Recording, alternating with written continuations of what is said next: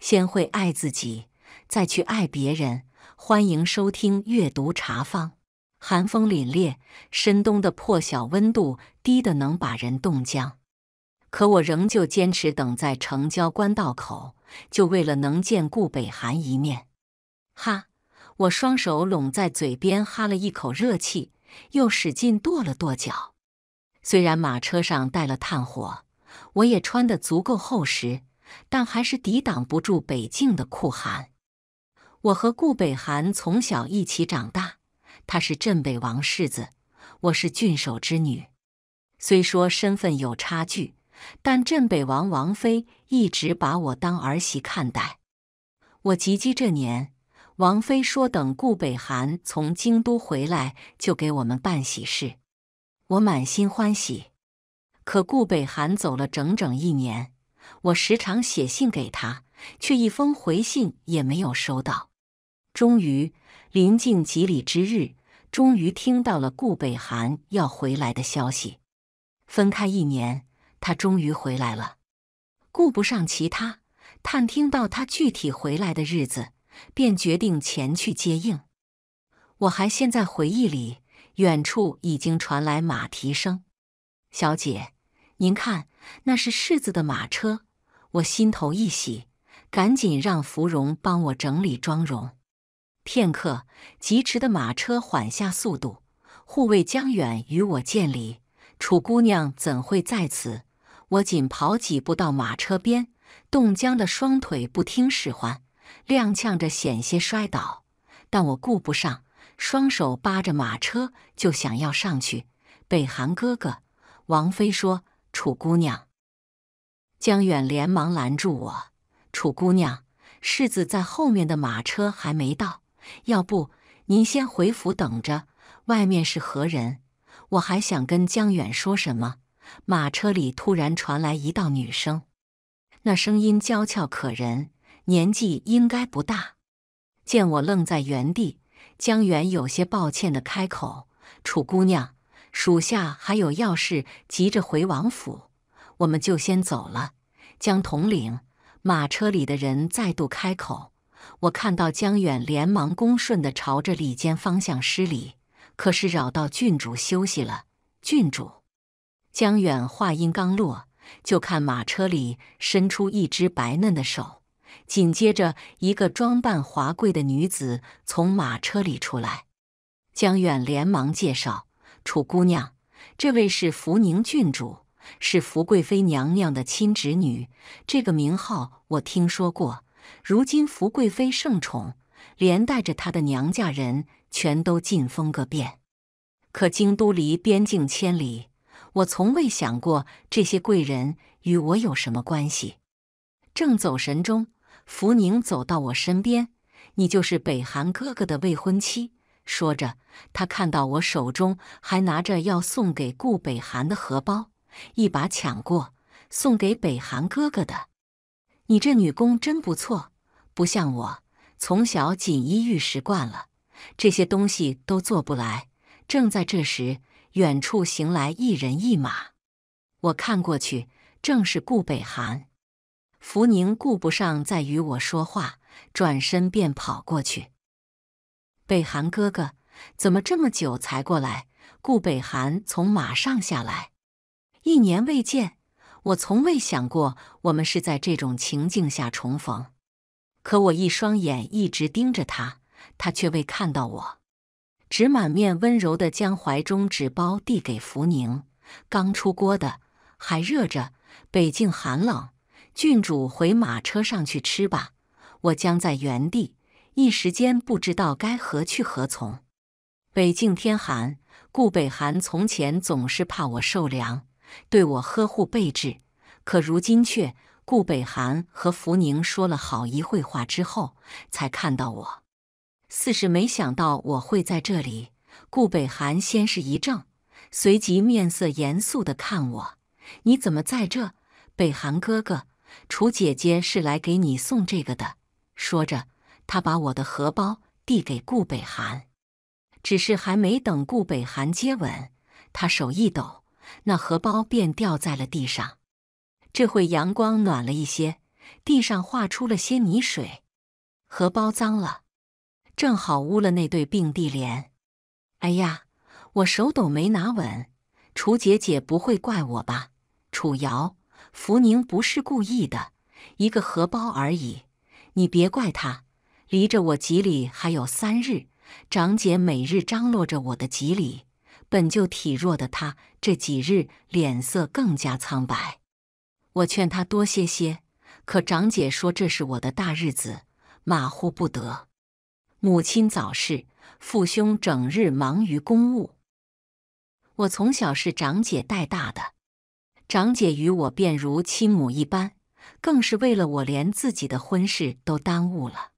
其实楚家本是京都望族，却因十年前一桩要案连累，整个楚家一夕之间成为阶下囚。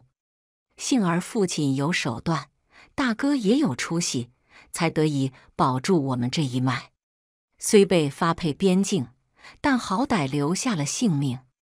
那年我五岁，对很多事情记忆很模糊。只隐约记得那场变故中，楚家死了好多人，祖父的兄弟姐妹无一幸免，而祖父、祖母和母亲也在来边境的路上染上疫病，相继离世。最后家里只剩下父亲、兄长、长姐还有我。我们一家刚到边境时，镇守北境的镇北王对我们颇有照顾。王妃更是看我投缘，与镇北王商量着给我和顾北寒定下婚约。镇北王是皇家宗室，从太祖年间便一直守在北境，这许多年羽翼渐丰。就这样，五岁的我与十岁的顾北寒相识，到如今我十五岁，整整十年。这十年里，我与顾北寒相知相许。我以为我们青梅竹马，一切水到渠成。可我如今才想明白，许是从一年前他被召回京都开始，这一切就在悄然改变。听说福宁郡主是跟着顾北寒来北境游玩的，自从来了这里之后，便住在镇北王府，因为我一直跟着长姐操持吉礼之事。所以这几日也未曾与他相见，直到吉礼当日，福宁与顾北寒一道随着镇北王妃来到我们府上，两个人相携而行，看上去更像一对璧人。楚家在北境还算有些人脉，再加上镇北王的面子，今日来了不少人，大家心里明白，今日我吉礼礼成之后。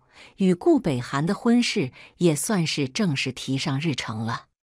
往后楚家便是皇亲，虽权势仍旧不大，但身份摆在那里，到底是不能低瞧了的。我在房间里等着吉时，面前是娘亲的画像。这许多年过去，我脑海里早就模糊了娘亲的模样，只靠着这画像。还有五六分像娘的长姐以为私情，小姐，小姐，我正沉在对娘亲的思念当中，侍女从外面跑进来。小姐，吉礼用的步摇被福宁郡主摔坏了。我忽地站起身，是娘亲留给我的那个。侍女点头。方才那福宁郡主去东房翻看您的礼服和步摇，奴婢们不敢拦。本想着也只是看看，未曾想不等侍女把话说完，我便急匆匆赶往东房。到门口时，隐约听到有人挑衅：“什么破烂东西，还真当个宝贝，都不如本郡主鞋上的一颗珍珠值钱。”我顿时火冒三丈，几步冲进东房，一把扯过福宁就要打瑶儿。长姐来不及反应，连忙抱住我。瑶儿，不可！我怒视着福宁，恨不能生吞活剥了他，弄坏了我娘留给我的遗物，还口出狂言。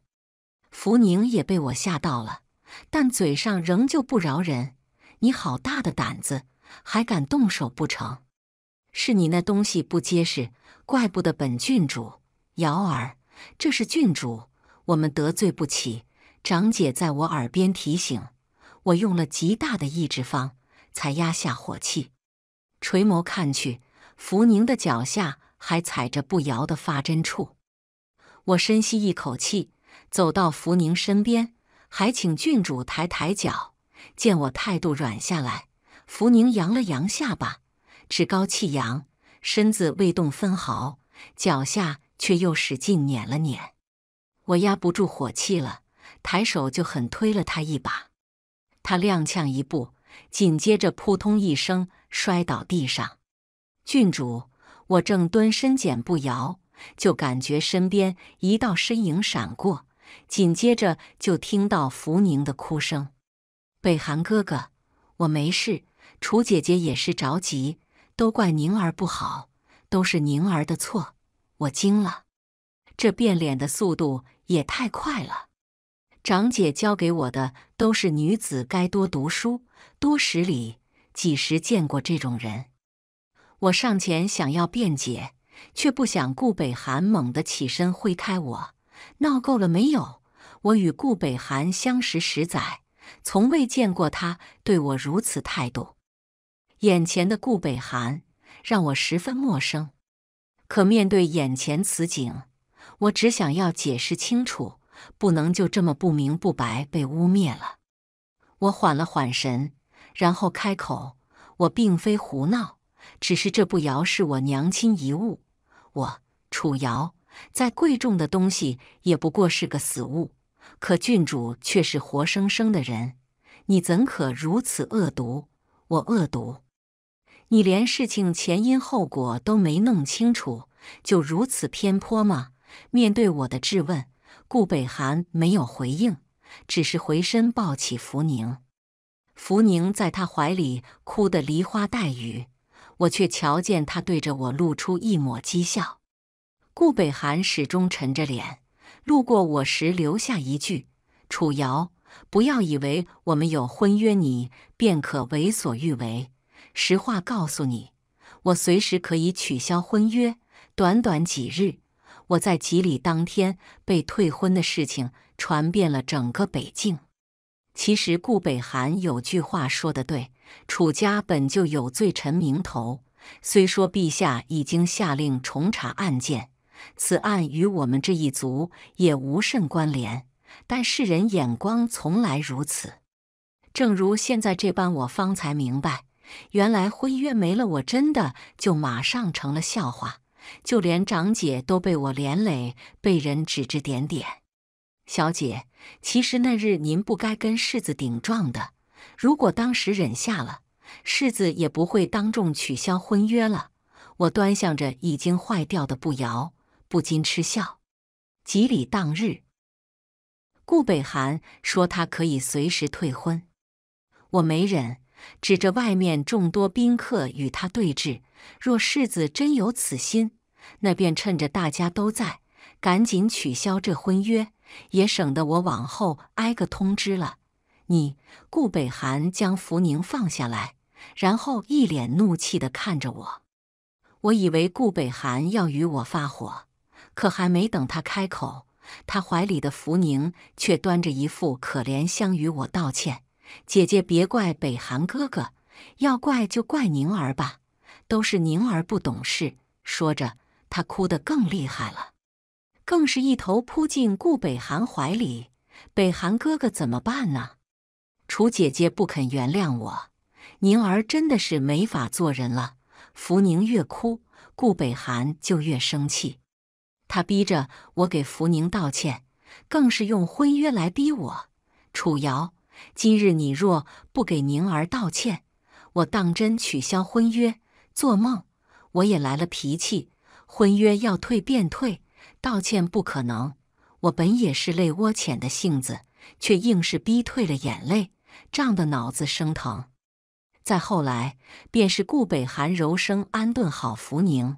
然后当众取消了婚约，即便在场众人都在劝和也没用，就连镇北王妃都没拦住。思绪回转，我小心翼翼收起步摇，过去的事不提了。我们去看看长姐吧。路上，芙蓉还是不甘心，继续跟我念叨：“不过说来也是怪，世子从小就宝贝您，怎地回了一趟京都就变了？要奴婢说，都是那个福宁郡主搞的鬼。”我抬眼看着飘下来的雪花，眼前闪过往年除夕。为了楚家往后能平安顺遂，我和长姐每年正月都会在佛寺住上一个月，而顾北寒每年都会在二月初来接我，哪怕天寒地冻，山路难行，可他见我的第一面，总是最先把我双手捂在他的狐裘里。下山路上更是要背着我。十四岁那年，顾北寒提前上山来找我。当时我正在后院的姻缘树上挂红绸，那是跟其他女香客学的。我情窦初开，也学着他们的样子祈愿，希望能与心上人两心相印。可我个子矮，红绸挂得不牢，一转身就被寒风吹落了。听说这不是个好兆头，我有些懊恼。顾北寒从身后过来，看我不高兴，便安慰我说：“娶我是他的事，岂能寄托一条小小红绸？”我连忙抬脚去捂他的嘴，说：“姻缘树下说话要当心，不可不敬。”他笑得眉眼弯弯，亲吻我手心：“怕什么？你早晚都是我娘子。那次之后再见，便是一年后。我在官道等他。”而他却是亲自去给福宁郡主买吃的。半月后，听说顾北寒已经带着福宁启程回京，更有传言说顾北寒这次回去就是要跟福宁成婚的。长姐怕我难过，便日日守着我，生怕我做出神妖傻事。可我不会，多年情分说不难过是假的，但人总要向前看。一个顾北寒还不值得我如此。本以为时间会慢慢冲淡一切，可我被退婚的谈资还没彻底淡去，京都就又传来一道密旨。这次是指婚圣旨，楚家二小姐楚瑶指婚给瑞王殿下。长姐和兄长在爹爹面前跪了整整一夜，直到第二天，我整装待发。他们还在求我到书房门口时，便听到长姐的哭诉：“爹爹，想想办法吧。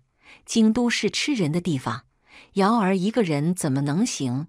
兄长也附和：“爹爹，孩儿这就收拾行装去军营。若此番拿下敌军将领首级，便可立功，我们便有由头求陛下收回成命。”糊涂！爹爹终于开口。且不说你潜入敌营十死无生，便是成功了，也无法抗旨拒婚。这是皇恩，容不得我们愿不愿意。可可太子被废为瑞王，陛下让瑶儿嫁给他，为的是敲打和削权。这种情形怎会有瑶儿的好果子吃？是啊，表面看起来我是要嫁给王爷做王妃的。可这王爷却是从太子被贬黜的，我们的婚旨也是秘而不宣的密旨，摆明了说我们都是见不得人的。我这个罪臣之女配上废黜太子，说起来都是笑话。而且我就是皇帝敲打太子的工具，对于太子来说，我会是他雪上加霜的污点。长姐哭得上气不接下气。甚至提出要替我回京，我站在门外，心如刀绞。欺君之罪岂是儿戏？长姐和兄长都不顾性命来护我，可我总不能一直躲在他们的羽翼之下。其实这十年来，我在北境的日子过得顺遂又快乐，但我也知道父兄从未放弃过给楚家翻案。皇帝虽然下令重查此案。但到底没有任何进展，我想只是为了堵百姓的嘴罢了。若真如此，那我此次回京或许对家族翻案也有助益。想到此，我毅然推开书房房门：“爹，我准备好了，明日启程回京。两月后，我终于到了京都。大船即将靠岸，芙蓉扶我下船时，我才发觉双腿已经软得不像话。人多，顾不上看风景，只顾着低头看脚下的路。楚瑶，我这一脚踏上岸边，还没怎地，就听到一道熟悉男声。下意识抬头，对上一双怒气的眼，顾北寒，真是冤家路窄。眼看我发愣，顾北寒怒气更盛，他一把抓住我的手腕，大力把我往旁边一扯：“你闹够了没有？是不是疯了？我们都已经退婚，你竟还任性的追到这里来！”我这才明白他为何生气。原是以为我是追随他而来，我试图将手腕从他手里拽出来，可他力气太大，我怎么都挣脱不开。这里人多眼杂，我有些急了。你放手，放手！我也不知是怎么回事。再见顾北寒，我竟没有想象中那般难过，反而是不太想跟他再攀上关系。许是这一路颠簸。连带着对他的那颗心也颠碎了。楚瑶，你身为罪臣之女，理应明白无照擅自回京是大罪。你不顾及楚家，也不顾及镇北王府吗？到时若连累了镇北王府，我不会原谅你。我本无意与他掰扯，可听了此话，我便来了火气。罪臣之女又如何？真是可笑。世子未免把自己看得也太高了些。你楚姑娘，顾北寒气大了，扯着我还想说什么，被远处过来的一行人打断。那为首之人分别朝着我和顾北寒施礼，然后又面向我，敢问可是楚姑娘？顾北寒愣住，我趁机挣脱手腕，然后抬手将身上披风解开，披风里。赫然是一身大红衣裙，衣裳规制，唯有当朝皇子嫡妻才能穿。这是去北境传旨的人带去的。这种衣裳规制，便是如镇北王府这种宗室之后，亦是没有资格。顾北寒彻底傻了，他震惊地看着我：“瑶瑶儿，你这是……”我没理顾北寒，只朝着那人回道：“我是楚瑶。”驾！我话音刚落，远处又来一人一马。来接我的那行人转头一看，纷纷跪地行礼。我虽不认得，但也看到那端坐在高头大马之上的男子风度翩翩，一身暗红锦袍，头发松松，挽成寻常家公子模样。他策马而来，一双桃花眼格外好看。来到近前。我才看到马背上还有一个小姑娘，十一二岁模样，与那男子如出一辙的桃花眼。属下见过瑞王殿下，见过安和公主。一听这话，我便知晓眼前之人便是那曾经的太子，当今瑞王，也就是我要嫁的夫婿顾云衡。众人皆在行礼，唯有我还傻愣愣站着。顾云衡坐在马背上，端向我，饶有兴致。我就那么与他对视着，直到旁边有人提醒我该跪拜，我这才回神。可我刚要行礼，却听顾云衡开口：“免了，王妃一路赶来也是累了。”说着，他调转马头：“阿昭，我送安和回去，你护送王妃回府。”是，末了。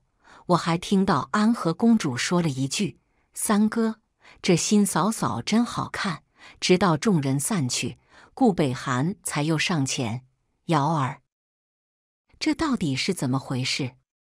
你怎么会成了瑞王妃？”瑶儿，我已经忘了有多久没有听到他如此称呼我了。似乎从那个郡主去了北境开始，他便一直叫我楚瑶。语气更是冷硬无情。我长叹一口气，然后看顾北寒，世子可是瑞王殿下的堂弟。顾北寒怔了怔，然后点头。当然，我笑。那往后，世子该唤我一声嫂嫂才是。我住进瑞王府的第十天，一直没见到顾云恒，倒是顾北寒来了好几次，也不知道是不是顾云恒故意试探我。堂堂瑞王府，顾北寒竟然能直接到我的院子来。芙蓉脸上尽是为难。小姐要见吗？世子都在外面站了半个时辰了，不见。顾北寒还真是给我找事。我和顾云恒虽没有正式大婚，但我到底已经入了皇室玉蝶，是正式王妃。若与他这般见面，传出去岂不是落人口实？芙蓉，请人离开吧。是。芙蓉转身刚要出去，院子里传来一道女孩的声音：“堂兄，三哥在书房等着堂兄呢。堂兄快去吧。”我隐约听到顾北寒说了句什么。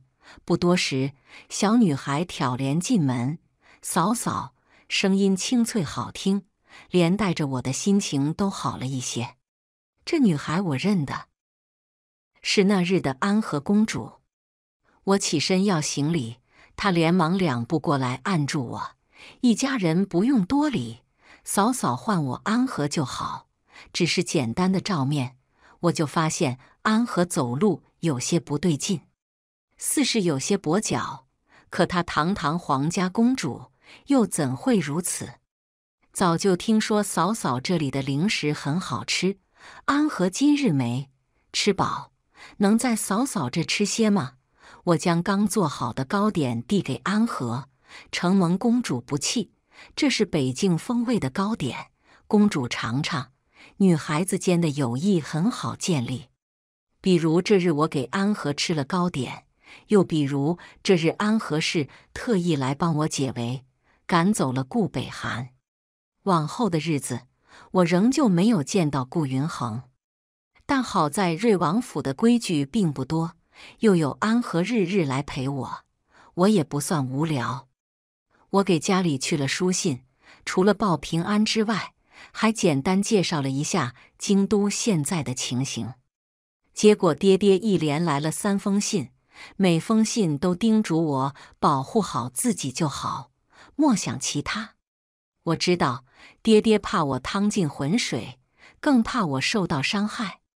可我人已经到了京都，能否置身事外，根本由不得我。如今见不到顾云恒，至少通过安和，也能先把京都摸个熟悉。那么。首先了解的就是顾云恒。顾云恒是三皇子，他和大皇子还有安和都是皇后嫡出。大皇子镇守南疆边境，已经四年没回京。其次还是顾云恒。安和说他有五个通房，各个角色。我诧异，我怎么一个都没见过？安和正在吃北境送来的蜜桃。他两腮腮的鼓鼓，然后朝着我摇头。他们不住在这，住在城郊别院。我来京都之前，爹爹告诉我说，顾云恒曾是个极优秀的储君，又志在高位，所以对女人根本不上心。莫说正妻侧妃，便是身边侍奉之人都是男子。我原以为是个不近女色的，没想到人家只是藏得好。好家伙，五个通房，这人倒是挺厉害的。嫂嫂，别难过，别看三哥平时不回家，但他其实是喜欢你的，只是还得养一养。嗯，这是什么意思？就是你来的那天晚上，我听到三哥跟父皇母后说的。他说楚家那丫头好看是好看，就是身材干瘪了点，得好好养养。噗。我一口茶喷出去，呛得我眼泪都咳出来了。安和连忙给我顺气：“嫂嫂身子确实弱了点，三哥说的对，得好好养养。”我唇角抽搐。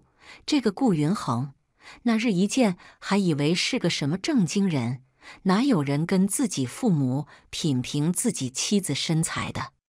再说了，长姐一直悉心照顾我，我才才不干瘪。又过了一个月，皇家围猎，听说安和求了皇帝开恩，这才把我也一并带了去。在王府憋闷了许久，如今到了这远郊，心情格外开阔。安营当天便举行了赛马，听说还有十分贵重的彩头。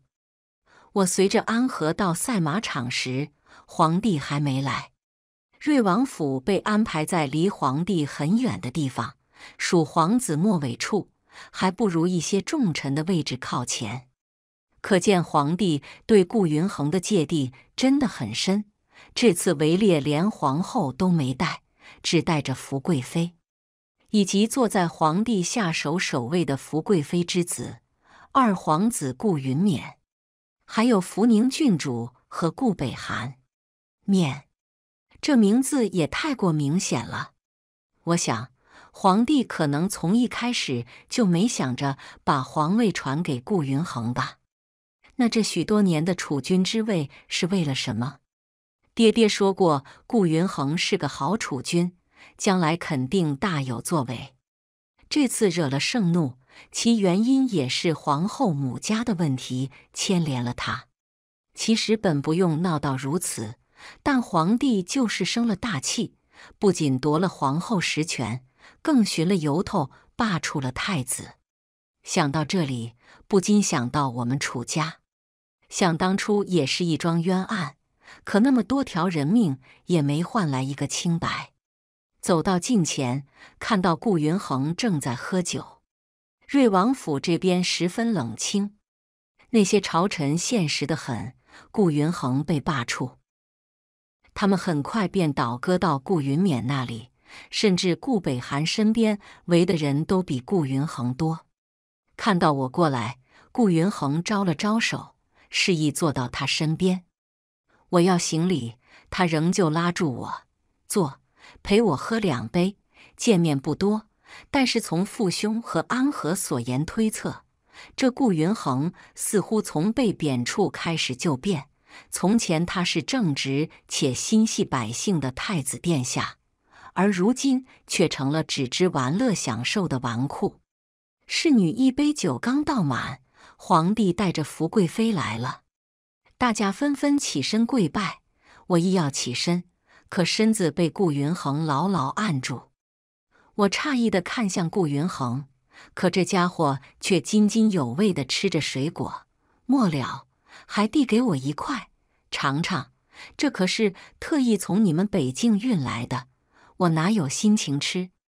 你们父子闹别扭，别带上我好吗？现下我只担心我的无礼会不会让皇帝一怒之下把我关起来，然后再牵连楚家。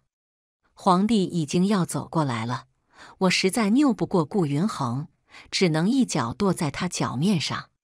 嘶！你这丫头好大的胆子！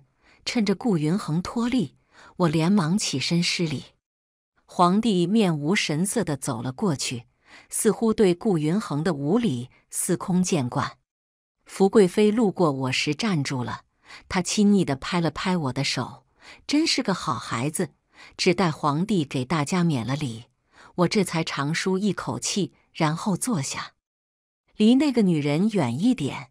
顾云衡仰头灌了一杯酒，低声提醒我：“谁？福贵妃吗？你现在跟我扯上关系，他们对你不会有好心的。”说着，顾云衡又喝了一杯酒，他目光看向顾云冕的方向。此刻，皇帝正跟顾云冕说着什么。面色慈爱，与刚刚在我们这边的严肃完全不同。小丫头，跟了我委屈你了。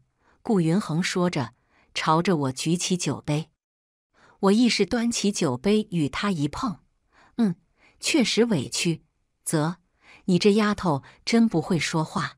就算我现在落魄了，好歹也能给你个王妃之位。那日在渡口，还有之后在王府。我可是帮你解了围的，我就知道安和不会无缘无故出现。那日顾北寒来找我，安和把他赶走，肯定是顾云衡的授意。话虽如此，但殿下大可以让人把他拦在门外。顾云恒笑：“倒是我的错了。我本想着你们青梅竹马，应该有话要叙，谁知道你是个这么狠心的丫头。”这边正说着话，侍女又端上来几盘北境风味的小食。我目光落在那些吃食上，情绪有些低落。顾云恒凑过来：“怎么了？想顾北寒了？”小声些。我抬手去捂顾云恒的嘴，又想起这样不合礼数，连忙放下。顾云恒笑意更深。我没那么多规矩，你随意些就好。说着，他看向顾北寒的方向，人就在那。若想了，就去看看。顾云恒一边说着话，一边身子一歪，直接半倚着靠在我身侧。这动作不管是谁，看来我们都是一对恩爱夫妻。我目光也随着他看向顾北寒，顾北寒心情好像不怎么好，即便福宁在他身边，他也只顾喝酒，好像在跟谁怄气一般。我轻叹一声，我不是想他，而是见到这些特产，有些想家了。想家，我点头，然后看远处郁郁葱葱。北境苦寒，如今应该还是冰天雪地。长姐身子弱，父兄整日忙公务，不知道他们有没有好好照顾自己。听了我的话，顾云恒凑到我耳边轻声：“那你哄哄我，我若高兴了，就带你回家看看。”我一个机灵，连忙往旁边挪了挪身子。不用看，我自己都感觉到耳根发烫，脸肯定。红的不像话。回京都之前，我们都把这桩婚事想象的很恐怖。毕竟我身份摆在这里，我的存在对于顾云恒来说算是个羞辱，全家都怕他会迁怒于我。可如今我们见了面，虽为数不多，我倒是觉得他比顾北寒坦荡。我这想着，顾云恒突然伸手捏我的脸：“骗你的。”北境苦寒，我可不想去。我刚燃起来的那一点点心思瞬间熄灭，然后就翻了他一个大大的白眼。顾云恒更开心了，换成双手捏我的脸：“丫头，你爹爹有没有教过你别那么容易相信人？我随时可能会吃了你，知道吗？”我拂开他的手，有些赌气：“不知道，殿下是饿狼吗？”还要吃人，顾云恒说对了。接下来的日子里，福贵妃开始对我格外亲近，可他话里话外全是在套我的话。我想他对我可能有什么误会。我是从小被娇惯宠爱，心思也单纯，但我不傻呀。他什么目的，我能不知道？但我也有自己的目的，所以即便是讨厌福贵妃。也仍旧要装作纯良模样。这日，福贵妃又是拉着我聊了许久。从他的大帐出来，天色已经黑了。瑶儿，顾北寒追了出来。我听到了声音，却没停留脚步。顾北寒几步追上来，一把拉住我手腕：“瑶儿，等等！”我使劲挣脱，可顾北寒根本不松手。你放开我！我低声呵斥，顾北寒却抓得更紧。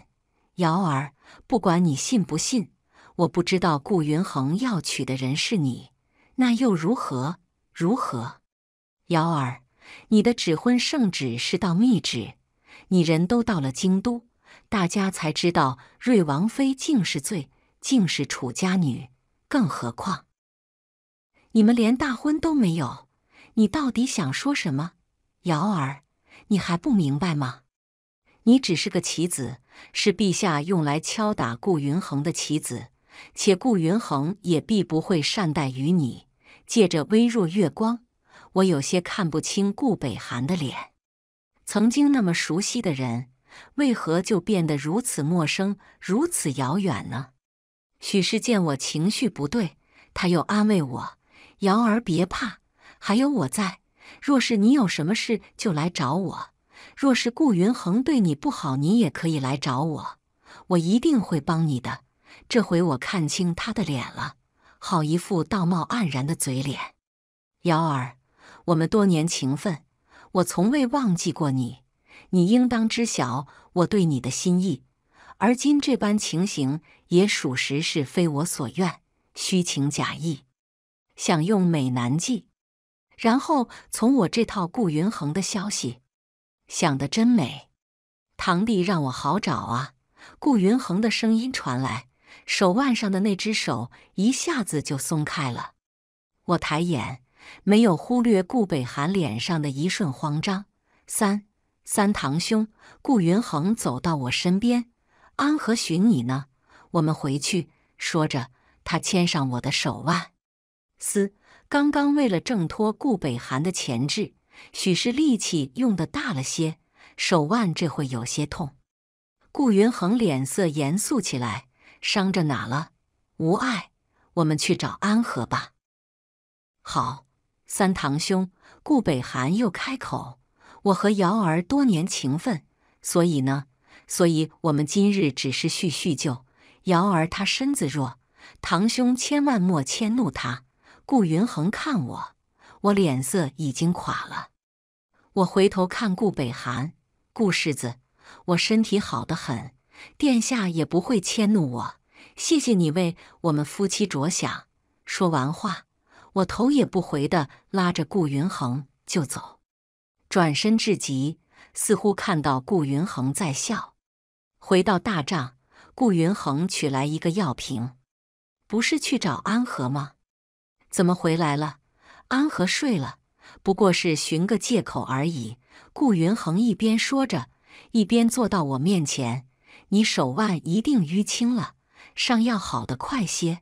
说着，他将药膏倒在我手腕上，然后用拇指轻轻揉开，手腕处瞬间清清凉凉，痛感减轻了不少。半晌，顾云恒开口：“还疼吗？”我方才一直盯着他半低的眉眼，他突然出声，吓了我一跳。察觉到我的异样，顾云恒抬头看我。怎么了？没什么。说着，我收回被顾云恒握在手里的手腕，不，不疼了。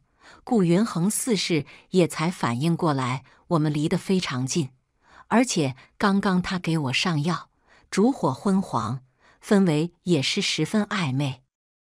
我们都有些尴尬。顾云恒看了看四周，最后寻了个话题：“啊，我还饿着。”常听安和说你这糕点不错，能给我尝尝吗？我和顾云恒表面是住在一个营帐里，可顾云恒晚上都是住在隔间，更是在我还没起身的时候就出去了。所以论起来，我跟他还没有跟安和熟，也不知道是不是我这的饭菜真的好吃。反正自打那日之后，每日晚饭时。安和都会带着顾云恒一起来，有时顾云恒忙没时间吃饭，我干脆就把饭菜留出来。久而久之，两个人便更近了些。顾云恒闲暇时也会带着我和安和去骑马打猎、钓鱼、烤肉。他有时带着安和共乘一骑，也有时候会带着我一起骑马。安和笑他。三哥如今真粘人，嫂嫂骑射那么好，哪用得着跟三哥共乘一骑？说着又看我，嫂嫂也变了。从前嫂嫂只给安和做好吃的，如今可是给三哥做的多呢。我嗔怒：“你这丫头！”安和挑挑眉：“如今我倒是想问问嫂嫂，若是我和三哥一起遇险，你先救谁？”我哭笑不得。想要回头看一眼顾云恒，可他贴着我极近，我一转脸，额角正擦过他唇边，心猛地一颤，我又连忙转过脸去，刚刚想说什么都忘了。顾云恒没说话，我只是感觉他揽在我腰间的手臂更紧了。不多时，顾云恒开口：“你这丫头就会为难人，等真有那么一天。”就让你嫂嫂带着你跑，你三哥我会保护自己。三哥舍得离开嫂嫂，你这丫头。顾云恒做事要打安和，安和一勒缰绳，做了个鬼脸，就往远处跑。我有些急，安和小心点。话落，阿昭已经骑马追了上去。顾云恒安抚我：“别担心，有阿昭在，不会有危险的。”封完了一天，回营帐的时候，顾云恒被皇帝叫走，他嘱咐我先睡，不用等他。明日一早带我和安和去山下镇子转转。可是第二天，我等了整整一上午，顾云恒都没回来，就连安和都没来。我刚要出门去看看，芙蓉就从外面回来，说安和出事了。此刻大家都在陛下那里，顾不上其他，我也匆匆赶过去。只是我刚到，就被顾云恒拦住：“你来做什么？”回去，瑞王妃来了，正好，也省得我们去请了。说话的是福贵妃。我诧异的看向顾云恒，不知到底发生了什么。他没说话，只是握着我手腕的手用了几分力气。哼！坐在上首的皇帝一声冷哼：“楚瑶，你好大的胆子！”我彻底懵了。自打我回京都，一直低调谨慎，怎么就大胆了？难道是我给父亲写的密信被发现了？可我用的都是楚家密语，便是被发现了也查不出什么。瑞王妃还不认罪？若你态度诚恳，本宫尚可帮你求情。我还没动，便听顾云恒道：“瑶儿无罪，为何要认？”我看向顾云恒，到底怎么回事？顾云恒低声。安和昨晚从你那回去就中毒了，我一惊。那安和呢？他现在怎样了？顾云恒似是有些意外，许是没想到我第一时间不是替自己辩解，而是关心安和是否安好。放心，服了药已无大碍，只是尚在昏睡。瑶儿又是一声唤，只是这次不是顾云恒，而是顾北寒。我转过头，顾北寒满面痛心疾首。瑶儿做错了事情不怕，但是千万别执迷不悟。这特么是什么屁话？合着我还没承认，他就先给我坐实了。眼看顾云恒又要说话，这次我按住他。我从他怀里出来，没看顾北寒，直接跟皇帝解释：陛下。儿媳昨晚与公主一起用膳，还有同屋的侍女也有吃，绝不会有毒。你说无毒就无毒，那毒可是你们北境特有，除了你还有谁？说话的是福宁郡主，北境的毒。我又看皇帝，陛下，毒不是我下的。首先，我没有动机。安和是我夫君的亲妹妹，我毒害她的目的是什么？再者，就算是再傻的人，也做不出这么有指向性的谋害吧？难道说京都没有毒药？便是这满山药草，也不乏毒草毒药。我放着这些不用，却偏偏用北境的毒，这不是不打自招吗？话落，顾云恒又伸手把我拉到他身边：“你还挺敢说，摆明了让我死，难不成我还客客气气的？”我不会让你死的，放心。我和顾云恒对视，不知怎地，我突然就感觉到委屈，也明白了为何父兄和长姐不想让我来京都。其实我刚才为自己辩解的那些话，在场的人又怎会不知道呢？可他们就是要用它来诬陷我。我若领了罪，不仅顾云恒会受到影响。更会直接打击到北境楚家，甚至是我外祖家。回京都前，爹爹一再交代，千万别牵连外祖家，这是我们家最后一道防线，不能被那些坏人盯上。可现在我和顾云恒是统一战线，我们都不能出事。正想着，只听身后传来脚步声，是阿昭。他走到顾云恒身侧。殿下，人抓住了。当一个蓬头垢面的女人被带上来时，我明显看到福宁惊慌地看了一眼福贵妃。皇帝脸色微沉。什么人？那女子抬起头，有人认出来，这，这不是右相送给瑞王府的美人吗？美人，那便是顾云衡的通房之一。我看向女子，只见她虽蓬头垢面，但五官真的很美。腰间一紧，我看顾云衡，顾云衡低头在我耳边，没碰过。我眨了眨眼睛，什么场合说这个？大家都诧异地看向顾云衡，不知道这到底是怎么回事。此时，阿昭递上一个盒子，回禀陛下，属下是在往西凉要道的卡口抓到此人的。这是搜出来的书信和信物，还有……阿昭看了看我，又道：“还有一瓶药粉，刚刚已经让御医见过。”正是安和公主所中之毒。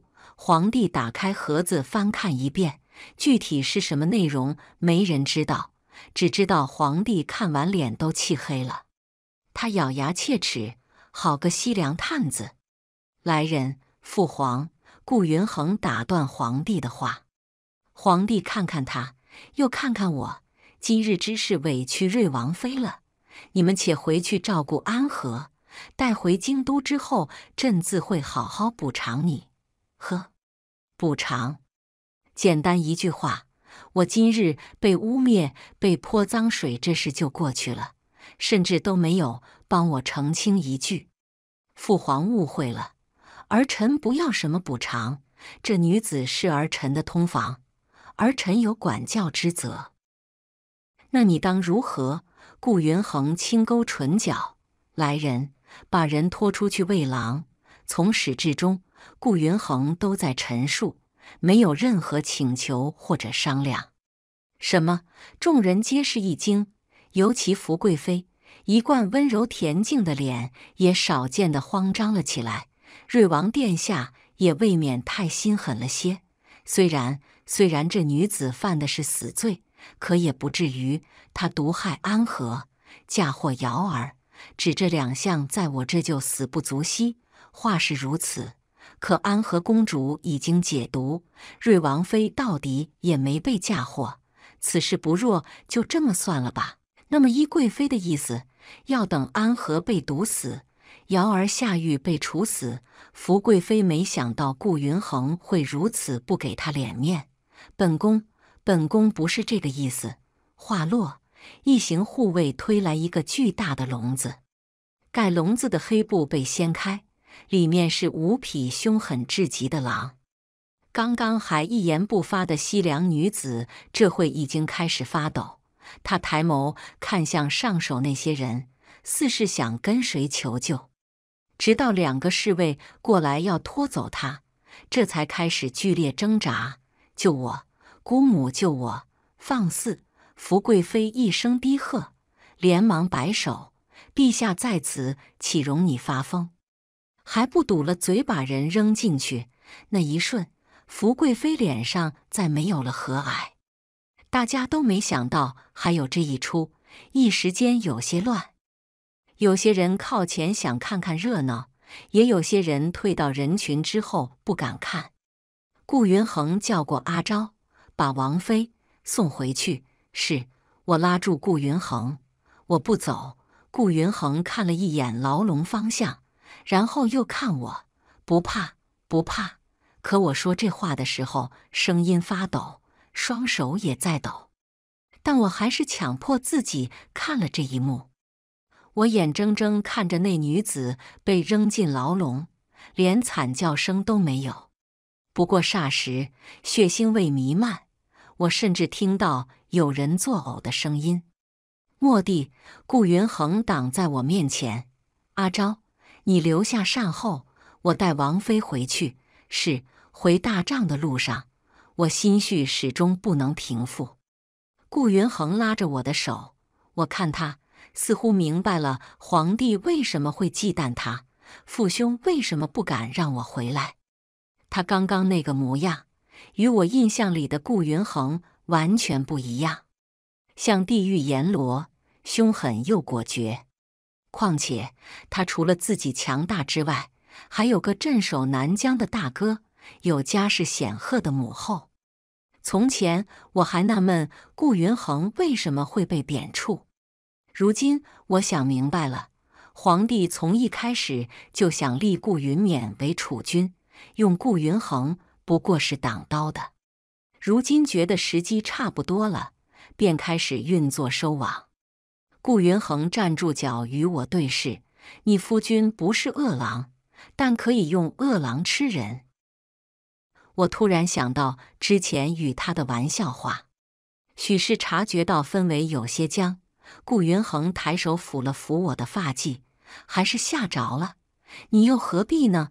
都说京都是虎狼窝，我想要在这里生活下去，就不可能永远被保护。顾云衡没说话，他目光看向安和的大帐。半晌，我在，没人敢动你们。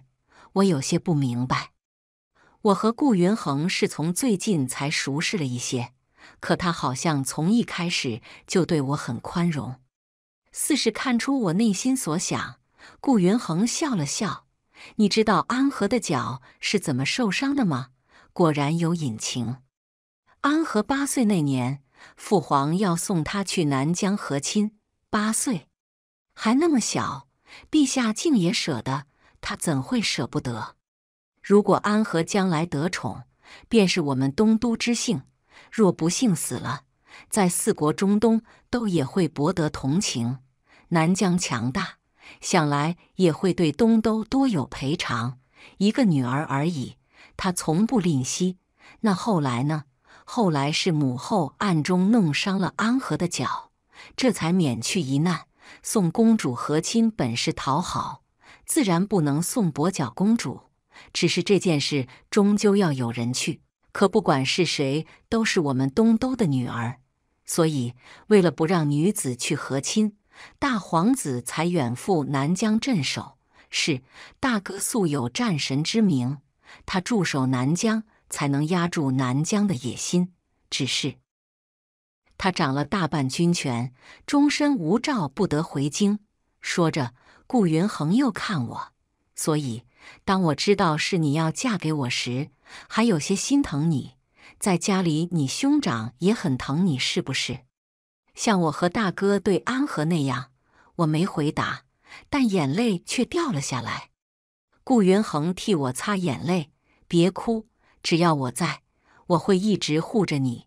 经过西凉探子一事，围猎草草结束，大家提前回京，我仍旧回到王府。只是王府中人都发现一件事，那就是他们的殿下回家频繁了。从过去的三五日到现在日日回来，且时间越来越早。瑞王府的人都很好，规矩不多，大家对我也都和善。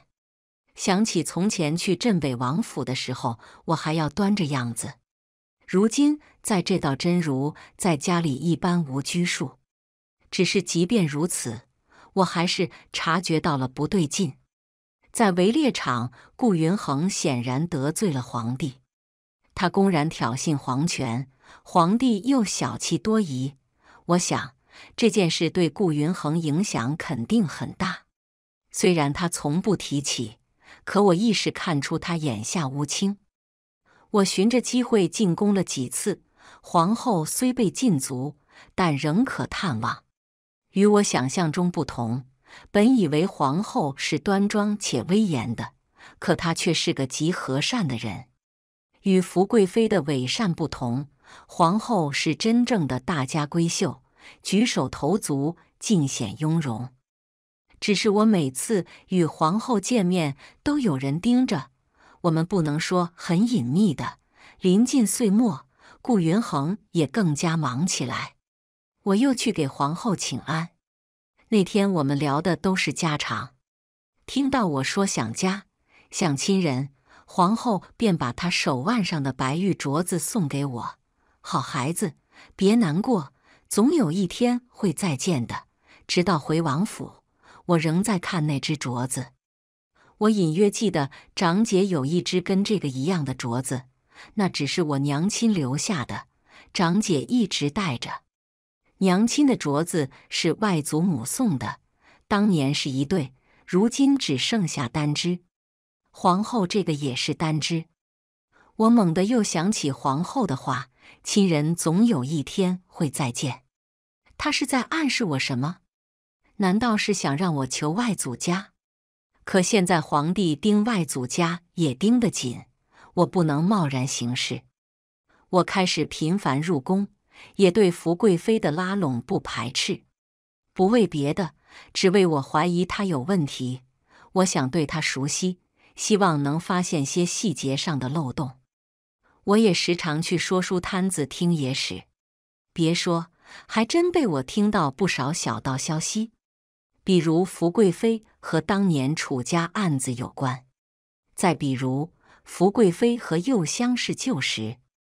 众人只知道福贵妃出身商贾，当年皇帝为了纳她为妃，还费了好一番周折。可怎么也想不到她和右相还有关系。右相，我记得被顾云衡处置的那个探子就是右相送的。后来右相卖惨。说自己只是无意间得了个舞姬，根本不知其底细，皇帝便也没再追究。如此想来，福贵妃和西凉是否也有关系？回想那女子临死前呼救的，或许就是福贵妃，不然她为什么会急急让人堵了她的嘴？有了这些怀疑之后，我刻意观察了一下，果然被我发现蛛丝马迹。这日，我带着芙蓉从宫里回府，路上，芙蓉跟我说，她发现了福贵妃不对劲。怎么不对劲？奴婢幼时在西凉商户家做工，知道一些西凉人的起居习惯。经过这段日子观察，发现福贵妃虽然刻意改过，但还是有很多下意识动作是西凉的习惯。我点头，我也发现了。西凉人喜食鲜嫩生食，这一点东都人是不喜欢的。可今日他对西凉进贡来的生食一点都不排斥，而且他还懂得这些生食的食用门道。小姐说的对，若他真是第一次食用生食，怎会如此？本以为福贵妃只是和皇后较劲，但如果她的身份存疑，那事情就更不好办了。涉及到一国探子，又是东都的贵妃，这要是捅出来，可就翻天了。这件事太大，我自己没法做主，便想着等回府给爹爹写封信，再寻个机会跟顾云衡商量。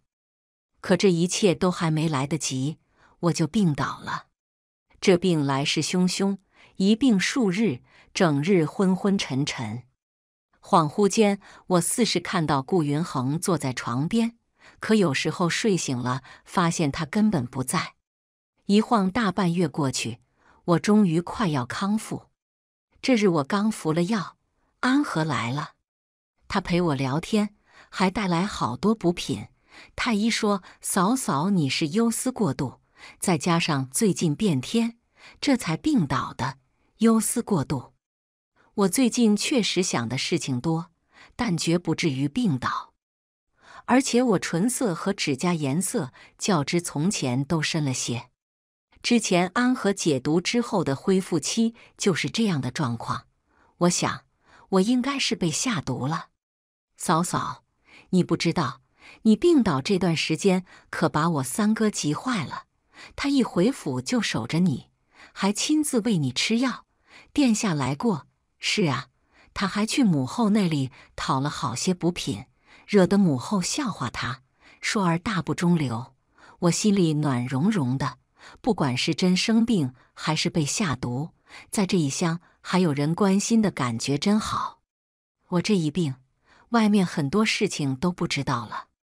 再次去街上闲逛，到处都在传说要打仗了。我思来想去，可能性最大的。就是西凉，可是西凉弹丸小国，虽说近些年经济发展不错，可到底不够强。怎会冒险和东都撕破脸？但如若不然，百姓们的状态也不会如此。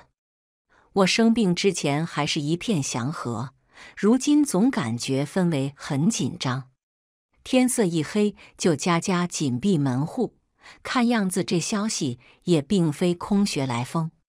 逛了一天，晚上回府时发现顾云恒回来了，他有些生气，病刚好就出去。说着，他将一杯热茶塞到我手里。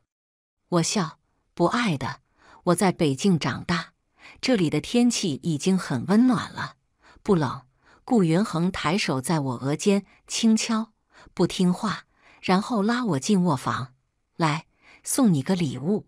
他把我按坐在梳妆台前，然后将一个锦盒递给我。我打开一看，竟是那枚摔坏的步摇。顾云恒没说话，只将步摇轻轻戴在我的发髻上，然后从镜中看我，好看。殿下什么时候将步摇修好的？看到你常对着他发呆，便问了芙蓉，才知道内情。我抬眼，亦是从镜中与他对视，渐渐的脸又红了。我垂下眸子，不敢再看顾云恒，却听他轻笑：“瑶儿，我带你去个地方。现在是我们共乘一骑。”顾云恒用他的披风将我包在怀里。大约过了半个时辰。疾驰的速度缓缓停下，顾云恒带着我来到一处山坡，这里地势有些陡。顾云恒要抱我，我没用，而是自己轻功上来。顾云恒有些惊讶，之前围猎的时候就发现你剑法很好，没想到轻功也不错。小时候兄长要教我武功的。但是长姐说，女孩子家不要舞刀弄枪，就这样两边权衡。最后学了轻功，便于逃跑；学了射箭，可能以后也有用吧。我们一路说笑着，到了山顶。我还没来得及问什么，就听“咚”的一声，天边炸响一朵烟花，紧接着一朵接一朵，五颜六色，漫天花雨。我被这美景吸引，顾云恒转脸看我，喜欢吗？我满面欢喜，喜欢。话音落，顾云恒上前一步拥住我，我愣住，浑身也僵住了。殿殿下，瑶儿，生辰吉祥。可我的生辰还没到啊！我知道，我是怕我太忙，到时没空陪你。鼻尖处全是顾云恒的气息，就这么被包裹着。感觉很安心，渐渐的，我竟是困意袭来，眼皮打架。殿下，嗯，我们回去吧。我、我、我话未说完，就感觉眼前一黑，紧接着就什么都不知道了。等我再醒来时，是躺在一个陌生房间里。安和来寻我时，哭着说京都打仗了，三哥凶险万分。我全然不知是怎么回事，直到舅舅出现，方才明白。原来看烟花那晚，顾云恒把我和安和迷晕之后，连夜送出城。我的猜测没错，福贵妃是西凉公主，十岁那年被送到东都做卧底。这次是被发现了端倪，她便联合西凉各部突然发难。眼下大皇子远在南疆。顾云恒又被罢黜，没有实权。他们的目的就是打东都一个措手不及。但事与愿违，舅舅说外祖家暗中一直和顾云恒是一派，所以这许多年外祖家低调行事，就是为了在出事时能帮衬顾云恒。虽然京都事发紧急，可顾云恒早有准备。现在只要我和安和安全。顾云恒那边就能放开手脚。舅舅，十年不见，您是怎么认出我的？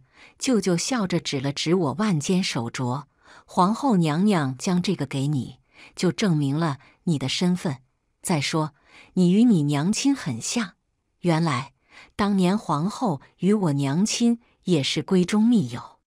本以为事情到了顺境，可我在舅舅家住了三日，京都还是没有传来好消息。我等不及了，想要回京都。舅舅拗不过我，便指派一支暗卫随行。我临行时，阿昭也跟了出来。顾云恒让他保护我和安和，可他应该比我更担心顾云恒。王妃，让属下跟您一起去吧。说着，他看向安和，安和笑着将腰间荷包递给阿昭：“你们去吧，只是都要平安回来。”阿昭珍宝一样收好荷包，然后与我一起回京。舅舅落脚的地方离京都不算远，我们一路快马加鞭，天还没黑就到了宫墙外。阿昭带着我们从东宫密道偷偷入宫，直到看到尸横遍野，才知道战争残酷。这一战两边必是损失惨重，但仍旧是顾云衡胜了。可我们靠近大殿时，才发现，虽然大事已定，唯独漏算了顾云冕。此刻，他绑了皇帝和皇后，正在威胁顾云衡放了福贵妃。顾云冕殊死一搏，顾云衡顾及皇后，不敢轻举妄动。我们悄悄潜在远处，我瞄了瞄距离，阿昭，寻个弓箭来。阿昭惊住。王妃不行，天要黑了，这个距离要是伤到皇后怎么办？不会，你去寻就是。话音落，暗卫现身，递给我一把弓弩。小姐用这个。我接过弓弩，瞄准，然后低声吩咐：“阿昭，你带人包抄靠近。我剑一出，你们立刻上前救人。”是。我目测着阿昭等人距离差不多了。手指扣上机关，凝神屏气，嗖，弓箭破空而去。随着一声惨叫，紧接着就听到阿昭带人冲上前的喊杀声。直到我看到皇后和皇帝被救下，这才松了一口气。三月后，我坐在京都楚家待嫁。三月前的那场战乱，皇帝虽然没有生命危险，但是一病不起。顾云冕是敌国探子之子，还妄图逼宫，被顾云衡平乱。顾云衡先恢复了储君之位，后皇帝下旨退位，顾云衡登基。顾云衡登基的第一件大事，就是给楚家平反，连带着当年受冤的所有家族，全都正了清明。大婚前夕，爹爹、兄长和长姐全都回到京都。长姐抱着我哭了好久，好在我们一家苦尽甘来，终于又能团聚了。登基大典和大婚在同一日举行。顾云衡昭告天下，东都只有皇后楚瑶，后宫不再多一人。人群中，我看到长姐在哭，皇后娘娘也掉了眼泪，我眼睛也酸了。礼数冗杂。整整折腾了一天才结束。晚上，顾云衡回来，刚要抱我，我便往后退。顾云衡疑惑：“瑶儿，昔日听闻陛下有好几个通房，且各个角色，不知陛下什么时候也让瑶儿看看？”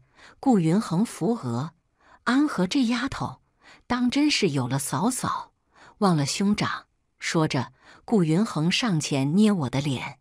哪有什么通房，都是探子眼线，送来就处置了。少蒙我，不是藏在别院了吗？若不这么说，往后还会有，很烦。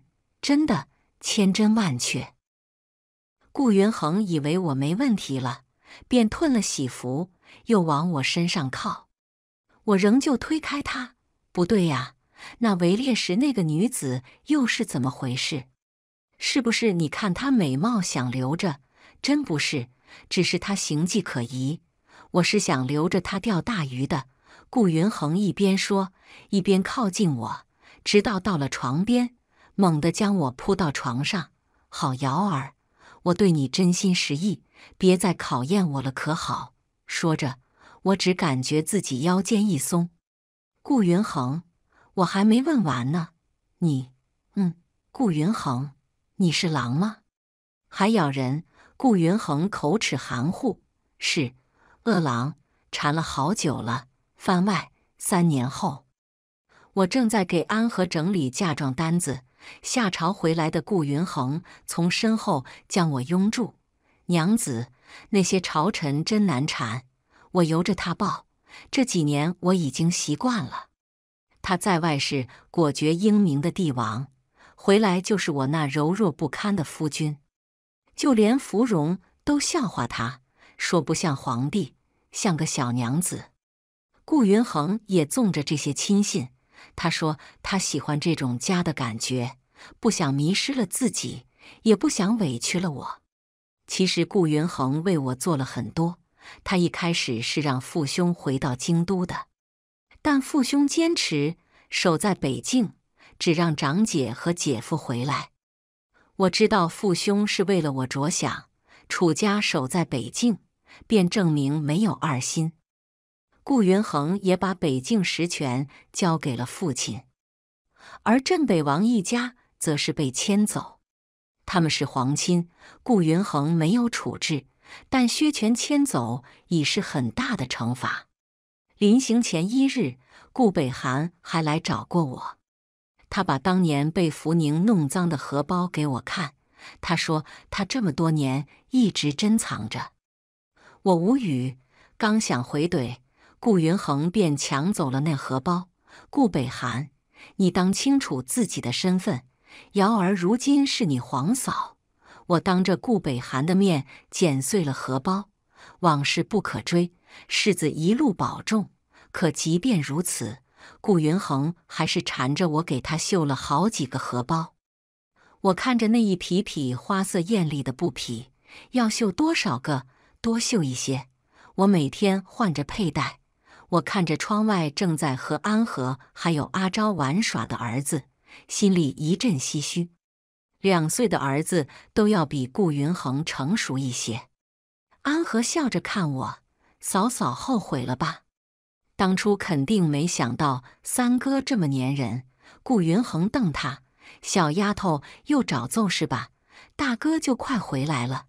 三哥你敢揍我，我就跟大哥告状。”阿昭坐在一旁大石上，看向安和的眼中满满都是爱意。后来我才知道，阿昭也是望族出身，当年和楚家一样被陷害，是皇后暗中救下他。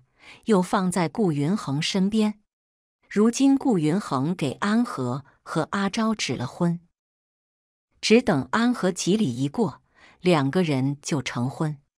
半年后，安和和阿昭大婚，大皇子回京，我父兄也从北境赶回参加仪式，全家团圆。顾云恒拥着我，瑶儿，我想修改律法。往后东都不得再用女子和亲，也不会接受异国和亲要求。说着，他又紧了紧手臂力道，或者让男子都如我这般，只娶一人。我笑着看他，那往后你要是变心了怎么办？我不会的，旁人不见得不会。那那如何做？我想了想，要不创办女子学塾，修改法条。让女子安身立命变得宽容些，也让天下女子都知道，便是离了男子也可以生活得很好。顾云恒仔细琢磨着我的话，然后很郑重地应了我：“好。”